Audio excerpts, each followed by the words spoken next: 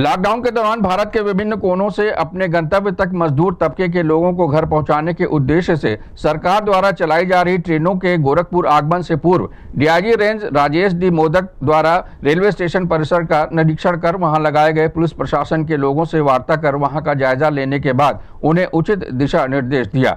वहीं गोरखपुर न्यूज़ से बात करते हुए DIG range Rajesh D Modak ने बताया कि आज लगभग आठ ट्रेनें गोरखपुर आ रही हैं, जिनमें हज़ारों की संख्या में यात्री सवार हैं। उन्हें उनके घर तक सुरक्षित पहुँचाने के लिए सभी व्यवस्थाएँ पूरी कर ली गई हैं। साथ ही यात्रा के दौरान उन्हें लंच पैकेट, बिस्किट, पानी आदि का वितरण भी किया जा रहा है।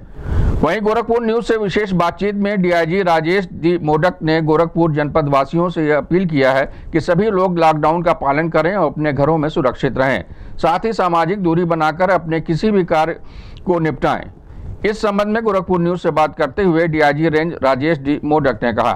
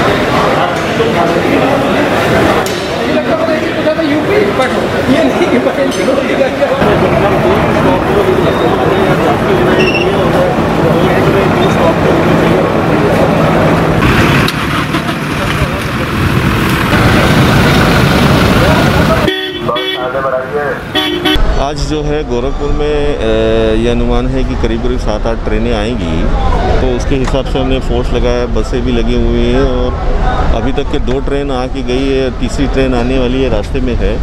तो उसी की व्यवस्था में देखने आया दिशा निर्देश ये है कि अपने को बचा के जो भी लोग आ रहे हैं उनकी व्यवस्था भी देखनी है।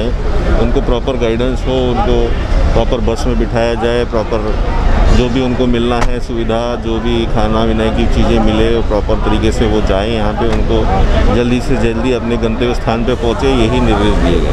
बिल्कुल अपील तो यही है कि सोशल डिस्टेंसिंग को फॉलो करिए। इसमें कहीं भी भी कमी मत आने दीजिए और जो भी केयर केयर लेनी है अपनी, उसको बचा के और सभी, मैं आपके इस चैनल के माध्यम से सभी लोगों को ये बताना चाहता हूँ कि अभी भी कोई आ, मतलब लॉकडाउन बंद नहीं हुआ है लॉकडाउन जारी है और जो भी दिशा निर्देश दिए गए हैं उसका पूरा पालन करें